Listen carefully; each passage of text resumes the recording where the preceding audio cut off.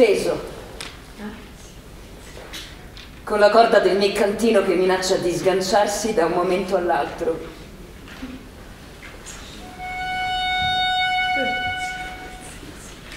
È la nostra sfida? Espiro.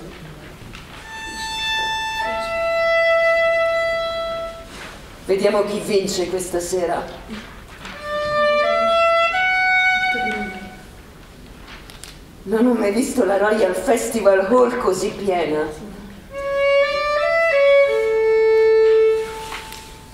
Non aspetto gli applausi. Non mi piacciono gli applausi.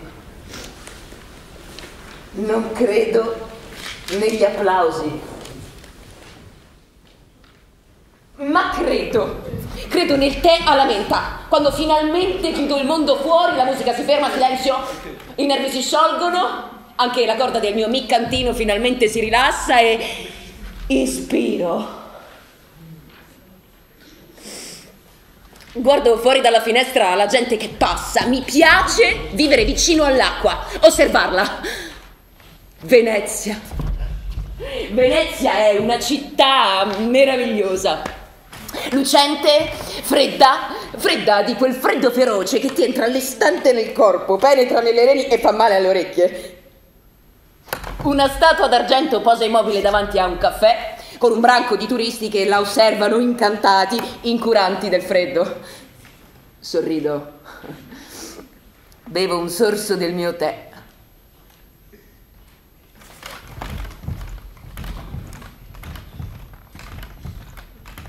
Una volta anch'io me ne infischiavo del freddo. Un numero di anni fa, che mi sembra una vita,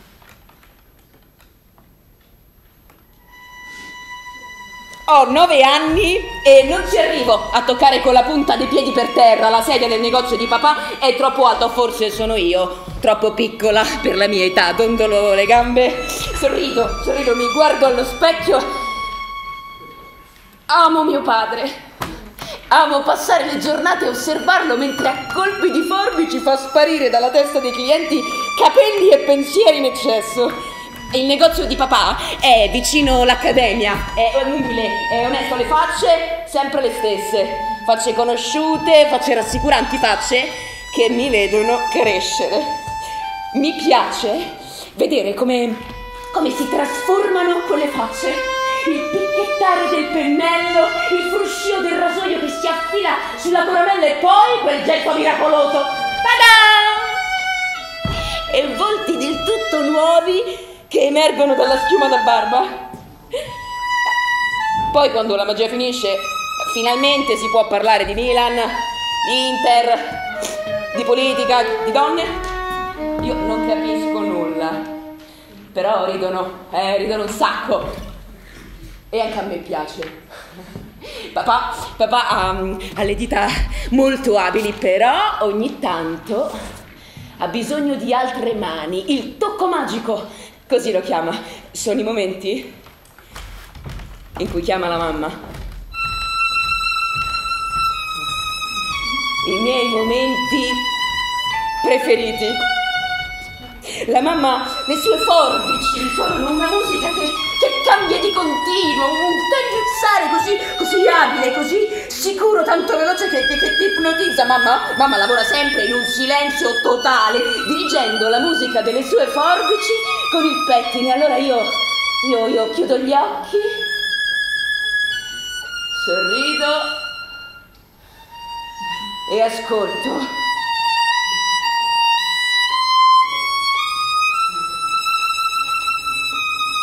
La vita, tutto sommato, è una cosa semplice.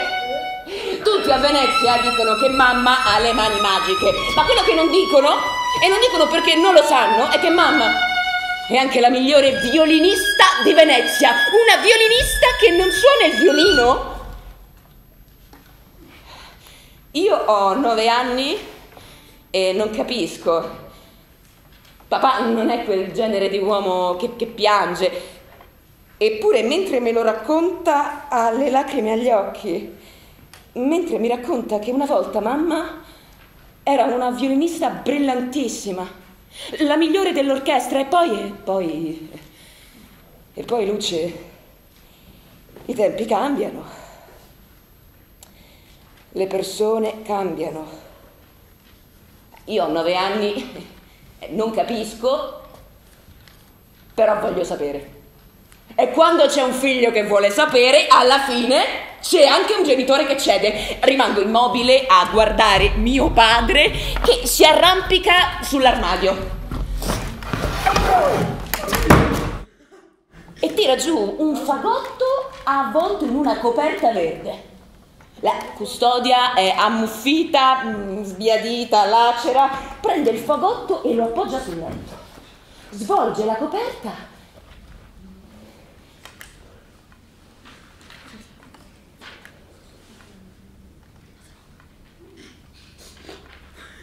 accarezzo la grana lustra del legno, color del miele,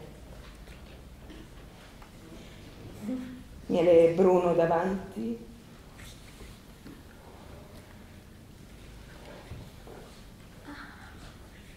miele biondo dietro.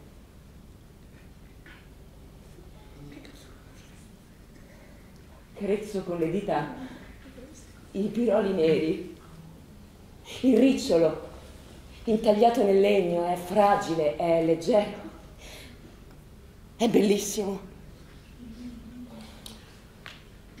Tutta la musica del mondo è nascosta in questo violino. Desiderosa di uscire, voglio essere io a liberarla.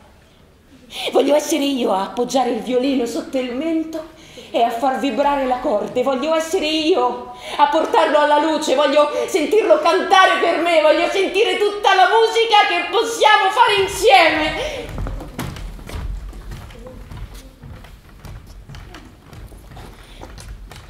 Ma la custodia del violino di mamma si richiude velocemente e riprende il suo posto nell'armadio.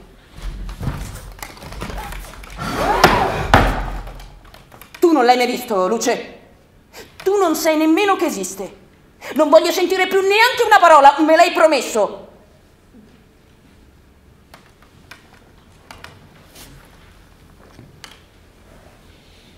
Ma io ho nove anni e ho capito che non voglio fare nient'altro nella vita che suonare quel violino.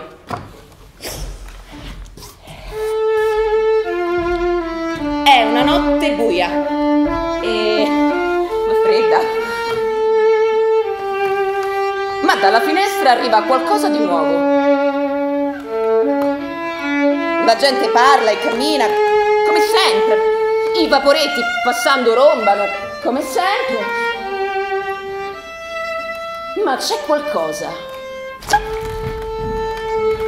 Vieni oltre il ponte.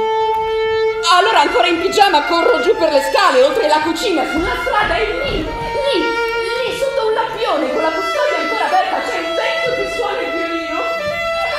vecchio, come me, non importa del freddo, non c'è nessuno, nessuno si è fermato ad ascoltare.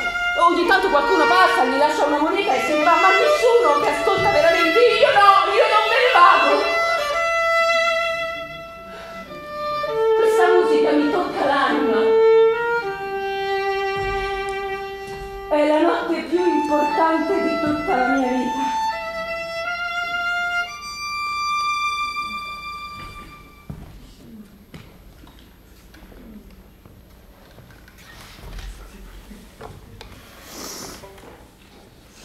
Ciao. È tardi per andare in giro. Come ti chiami? Il vecchio ha occhi gentili. Me ne accorgo subito. E Luce, Luce Zarfati. Mamma suona il violino, una volta suonava in un'orchestra. Anch'io suonavo in un'orchestra. Tanto, tanto, tanto tempo fa ma adesso sono quello che ho sempre desiderato essere. Sono un solista. Marcel Cohen, di anni 62, mi permette di toccare il suo violino. mi mostra come tenerlo, mi fa vedere come mettere l'archetto sopra il violino e far vibrare le corde. Marcel Cohen di anni 62 è il mio primo maestro. E allora il violino di mamma riprende ad uscire di casa. Certo, nelle mani di una bambina di 9 anni e non è facile tutte le volte mettere una sedia sotto l'armadio, stando attenta a non perdere l'equilibrio. Ma poi apro quella custodia ammuffita, prendo il mio fagotto, lo svolgo dalla coperta verde e corro. Corro, corro, corro Corro con il violino stretto al petto verso l'arsenale, verso casa del mio maestro. Al violino di mamma mancano due corde, il La e il Mi cantino. Io ho molti soldi da parte, me li danno quando spazzo. Se le mettessi di piatto sul letto, lo ricoprirebbero dai piedi fino al cuscino. Ma il mio maestro mi insegna gratis, perché ha capito che questo violino è come un arto per me, che mi è mancato da tutta una vita. Io amo il mio maestro. Amo ogni singolo prezioso momento con lui. Ecco, non amo quando le lezioni finiscono, però il mio maestro le conclude sempre con una tazza di tè con la menta fresca. E anche questo lo adoro. Quando non suona il violino di mamma, restaurato e incordato, riprende il suo posto nel nascondiglio segreto. E io penso che il mio segreto è al sicuro. Ma i segreti, per quanto ben nascosti, non sono mai del tutto al sicuro.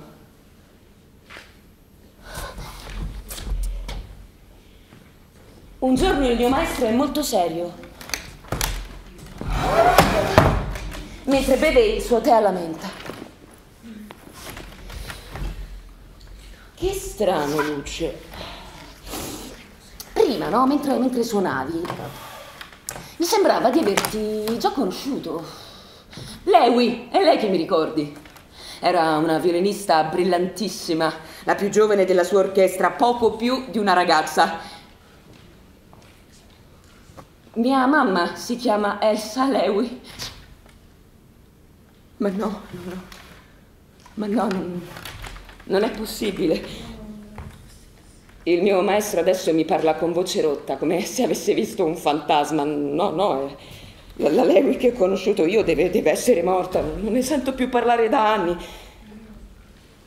Ma forse dovrei conoscere i tuoi genitori. Oramai sono sei mesi che vieni qui. Devono sapere che musicista brillante è la loro figlia. E allora, tra le lacrime, gli rivelo il mio segreto. Il violino, le riparazioni e tutto il resto.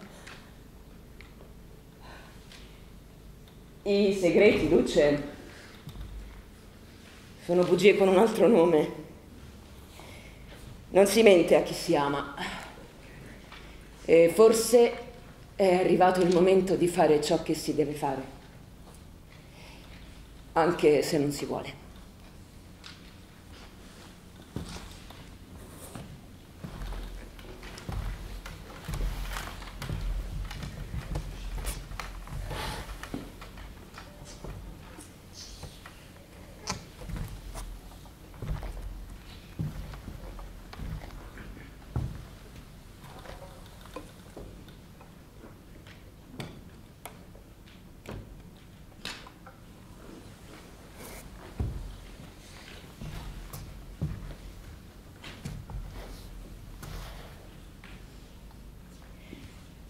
Oggi è il mio maestro a portare il violino di mamma al posto mio. Mi tiene per mano fino a casa. Io ho paura, ho paura di confessare, ho paura di ferirli. Mamma e papà sono già in cucina. Espiro e prima che qualcuno dica qualcosa, prima che tutto il coraggio svanisca, dico loro che non ho veramente preso il violino di mamma, l'ho, l'ho solo preso in prestito per, per, per farlo riparare e poi per esercitarmi, ispiro. Mamma e papà non sono arrabbiati, a dire il vero non mi guardano neanche, sono in piedi fissi immobili su Marcel Cohen senza dire una parola. All'improvviso sono solo loro tre a riempire la stanza. Si abbracciano, piangono senza trattenersi, piangono e ridono. Poi si siedono al tavolo, uniscono le mani intorno al tavolo come per non lasciarsi, come per paura che il loro essersi ritrovati sia soltanto un sogno Ah, io ho nove anni e non capisco, non, non so che, che, posto prendere a quel tavolo. Continuo a guardare mamma e papà, ma, ma, ma dai loro sguardi non vedo rabbia, anzi vedo addirittura gioia. Vedo orgoglio. Che ti avevo detto? Non ti avevo detto che ce l'avrebbe detto. Non ti avevo detto che dovevamo fidarci di lei. E sai, Luce, io prendo spesso il mio violino. Così, soltanto per, per toccarlo, per, per guardarlo. Alla mamma non piace molto, ma io lo faccio lo stesso. È il mio più vecchio amico. E così quel giorno, dopo che te lo mostrai, ricordi? Il violino era sparito e ho capito subito che eri stato tu. Poi quando è tornato era miracolosamente stato riparato, l'ho detto subito alla mamma, ma le ho detto anche che ce l'avresti detto non appena fossi stata pronta. Certo mai mi sarei immaginato che tu avessi un maestro, tantomeno che il tuo maestro fu, fosse Marcel Cohen, che fu il nostro primo maestro e si prese cura di noi come un padre. Io ho nove anni e non capisco, ma, ma non era il violino della mamma che, che non voleva mai, mai più toccarlo o è il violino di papà? I, I, tre si guardano e io ho nove anni, ma capisco che condividono tutti lo stesso segreto. Che senza dire una parola stanno decidendo se è il momento giusto per rivelarlo. È la mamma a chiedermi di unirmi a loro. Perché in qualche modo anche io faccio parte di quel segreto.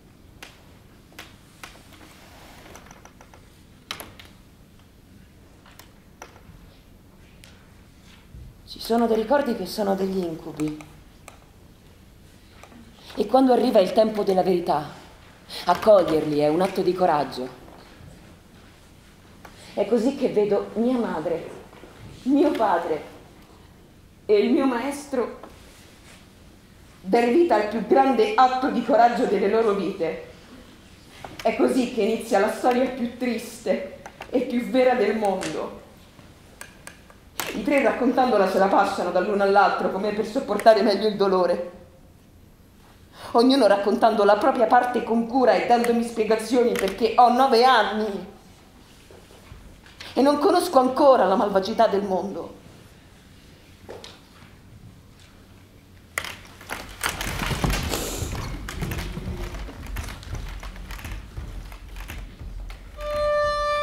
Questa storia inizia con tre treni, uno da Parigi, uno da Varsavia, uno da Venezia tutti e tre diretti allo stesso campo di concentramento. Marcel Cohen, Elsa Lewy e Joele Zarfati sono ebrei, sono musicisti, rispondono sì all'unica domanda che viene posta loro da un ufficiale dell'SS quando arrivano al campo. Ci sono fra di voi musicisti professionisti?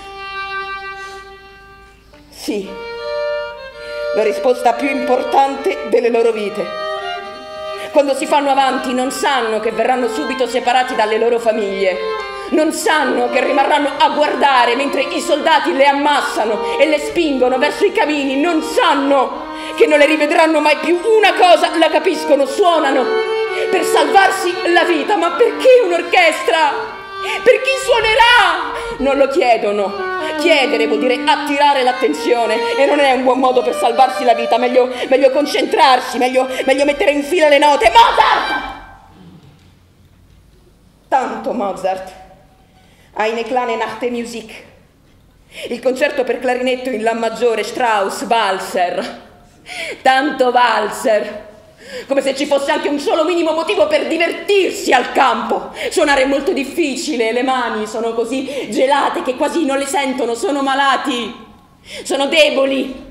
Per la fame ma malattia va nascosta perché una volta scoperta significa morte. Suonare è molto difficile ma aiuta a sopravvivere. Basta non far caso ai cani, alle urla, ai soldati, basta perdersi nella musica, basta non alzare mai lo sguardo, basta suonare con tutto te stesso, non per compiacerli, ma per dimostrare quanto sei bravo, nonostante tutto quello che fanno per distruggerti nell'anima e nel corpo. Combattiamo con la musica! È la nostra sola arma.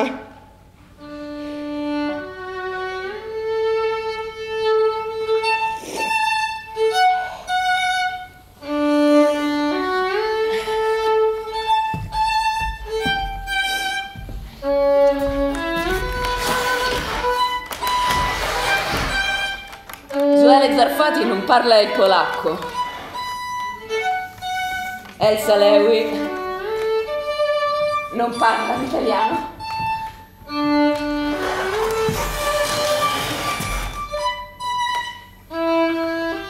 Ma i loro sguardi si incontrano mentre suonano. Tutti in orchestra se ne accorgono prima di loro. Sono un simbolo di speranza nel futuro, sono, sono due colombe bianche in un mondo grigio. Attutiscono il dolore con l'amore.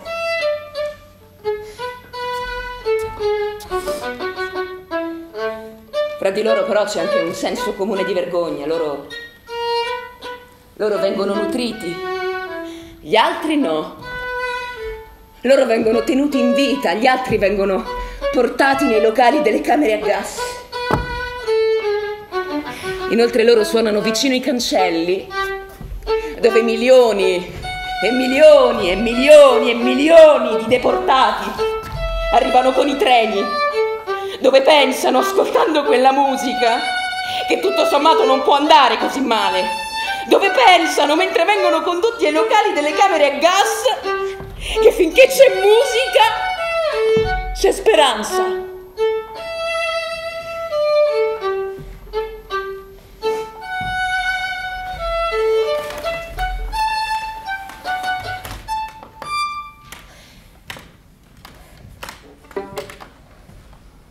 Suonano treno dopo treno, dopo treno, dopo treno. Suonano settimana dopo settimana dopo settimana.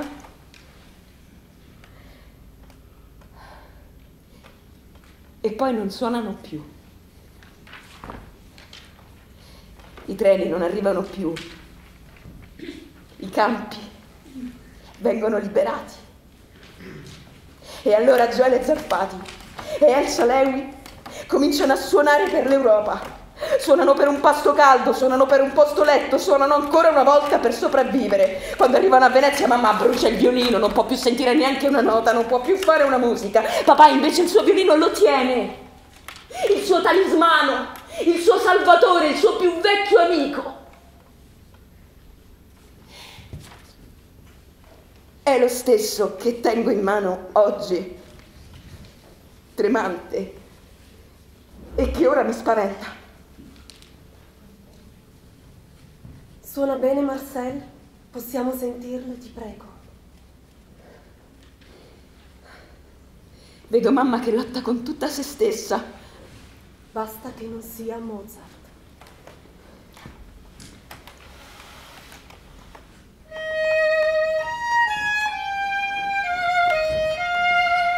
Suono l'inverno delle quattro stagioni di Vivaldi. Mamma per tutto il tempo ha gli occhi chiusi.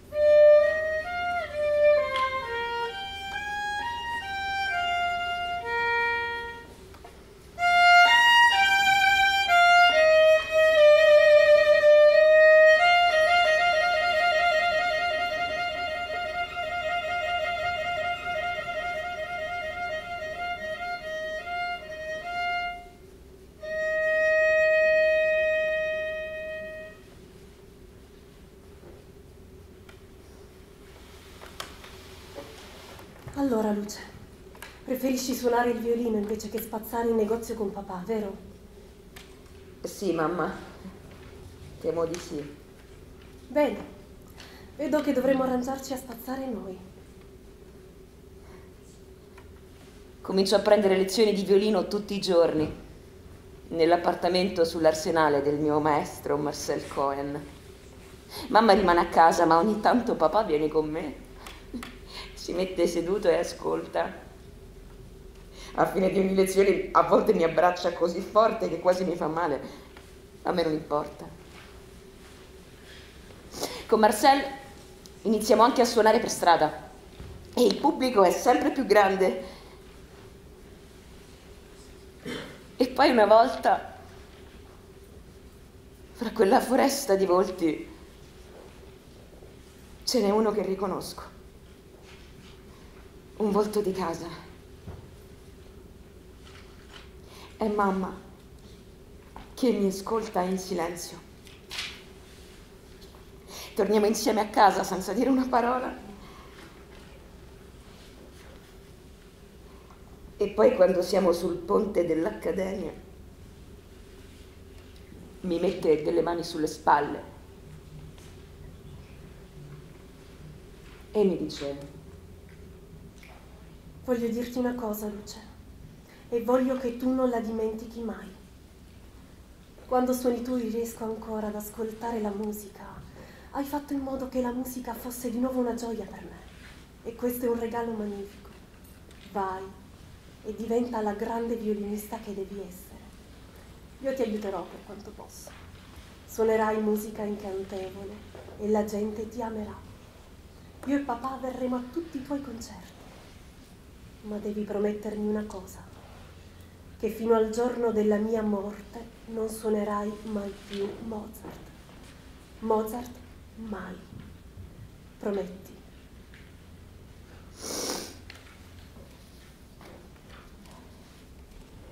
Ispiro.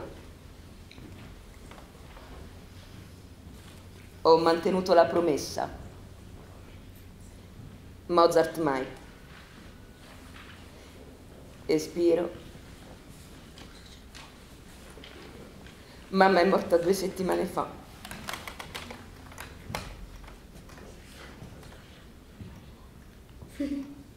È stata l'ultima di loro tre. E oggi a Londra per il mio compleanno suonerò Mozart. Lo suonerò con il violino di papà. Teso. Con la corda del miccantino che minaccia di sganciarsi da un momento all'altro. Suonerò così bene che le piacerà. Piacerà a tutti loro. ovunque si trovino.